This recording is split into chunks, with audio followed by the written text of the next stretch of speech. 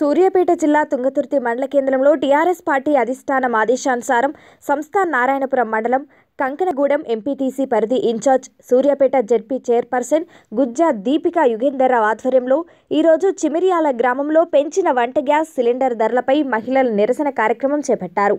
ఈ కార్యక్రమంలో గుజ్జ దీపిక యుగేందర్రావు మాట్లాడుతూ కేంద్రంలోని బీజేపీ ప్రభుత్వం కనీస అవసరాలైన వంట గ్యాస్ ధరలను పెంచి పేద మధ్యతరగతి ప్రజలకు వంట గ్యాస్ అందకుండా చేసిన బీజేపీ పార్టీని ఓడించి ఓటుతో బుద్ధి చెప్పాలని కోరారు. ఈ కార్యక్రమంలో ఎంపీటీసీ సర్పంచ్ గ్రామశాఖ అధ్యక్షులు వార్డు మెంబర్లు ముఖ్య నాయకులు తెరాస కార్యకర్తలు తదితరులు పాల్గొన్నారు. అందరికీ నమస్కారము.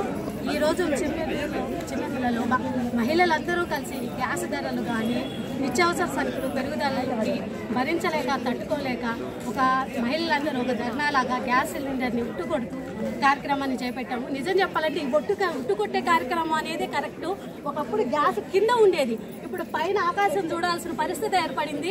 ఆకాశంలో ఎప్పుడు తగ్గుద్ది? ఎప్పుడు మా పరిస్థితులు ఎప్పుడు బాగుపడతాయి? మహిళలు ఆ ఇళ్ళలో వంట ఎట్ట చేసుకుంటాము అనే పరిస్థితిలోకి వచ్చినారు. ఎందుకంటే ఒకప్పుడు నాలుగు వందలు ఉండేది ఇప్పుడు పన్నెండు వందలు ఉంటే మహిళలు కూలికి వెళ్ళి గ్యాసులకే పెట్టాలా? నిత్యావసర సరుకులకే పెట్టాలా? దాచుకోవాలా అనే పరిస్థితి అర్థం కాని పరిస్థితిలో ఉన్నారు. మనందరికీ తెలుసు మోడీ వచ్చిన కాడి నుంచి ప్రతి రేటు పెరిగింది. ముఖ్యంగా పిల్లలు చంటి పిల్లలకు పాలు కూడా పెంచాడు జిఎస్టీలు పెంచి. పిల్లలకు పాలు కూడా ఇచ్చుకోలేని పరిస్థితి.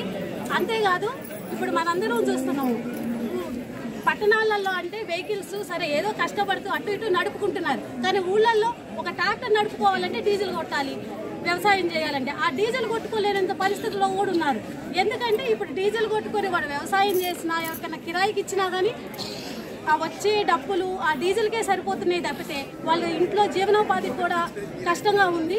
అంతేకాదు మనందరూ చూస్తున్నాం. ఇప్పుడు మహిళలు అందరూ ఇంత బయటకు వచ్చారు అంటే కారణం వాళ్ళ బాధ ఘోష మన అర్థమవుతుంది.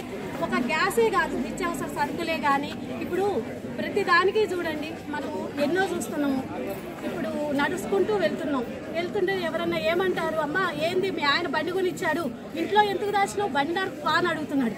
బండి ఎక్కడ తీస్తావు మా ఆయన బండి